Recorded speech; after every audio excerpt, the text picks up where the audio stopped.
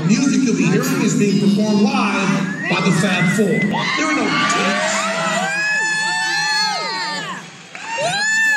trip back to the 60s with the greatest music of all time, the Fab Four.